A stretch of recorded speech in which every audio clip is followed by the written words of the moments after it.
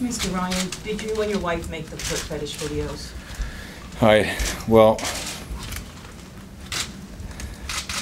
you know, obviously I knew, you know, these questions, you know, this question's coming and things. It's, you know, this is a personal matter, and I'm not gonna discuss it.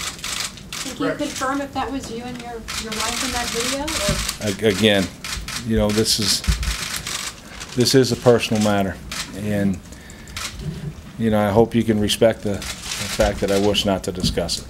Is it taking your focus off the team? You know, I'm, I'm gonna be ready to play Chicago. We're, we're gonna be ready to play Chicago, when I am ready. You know, I'm, this is my job, I'm focused on the job at hand. Rex, Can you talk about how these tapes, how these videos got on YouTube, how they got in the public eye? Again, you know, again, this is a personal matter, and, and,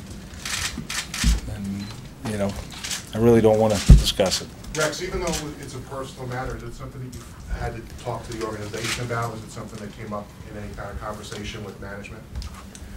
Again, it's, you know, it's personal. Rex, by, by not, by not denying, then the perception would be the opposite. Um, Well, Gary, I, I just, I just want to keep things that it's a personal matter, and I'm really not here to discuss it.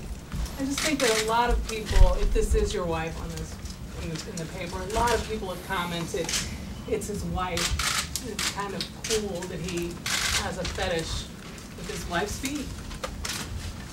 I- I- You know, and I understand, you know, I'm going to get asked this question front way, sideways, back way, all this. It's, it it is a personal, it's a personal matter. Can you tell us about your wife? My wife's beautiful. She's been been married for 23 years, and you know we've, you know she's she's awesome.